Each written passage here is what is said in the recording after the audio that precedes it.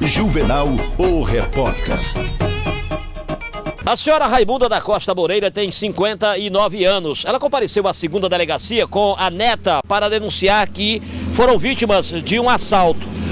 A senhora me dizia que a sua neta foi abordada a primeira vez pela dupla de assaltantes na porta de casa. Foi, na rua 17. E aí, quando eles disseram que queriam um celular, Aí ela mostrou, eles não levaram, a primeira vez, não levaram não. aí ela disse: O celular que eu tenho é esse aqui. Cadê o celular que a senhora está com ele no bolso? Cadê, Vitória? Tá aí? Tá aí, né? Tá esse daqui. Aí quando ela disse: Tem certeza que você quer o celular? Aí mostrou pro bandido Foi, mostrou, ele disse, não, filha, obrigado. e foi embora. Foi embora. Aí a senhora comprou, depois desse pebinha, como a gente diz, É. a senhora comprou um de mil reais dividido em 10 É, eu prestações. tava com ele guardado. Mas ontem ela levou pro colégio, aí na descida do ônibus, pegaram ele na 16. Que lá é meio escuro à noite, por causa dos pés de pau. Né? Aí botaram a arma nela. Aí esse celular moderno que a senhora comprou, das 10 prestações, a senhora pagou apenas duas. Duas, ainda faltou 800.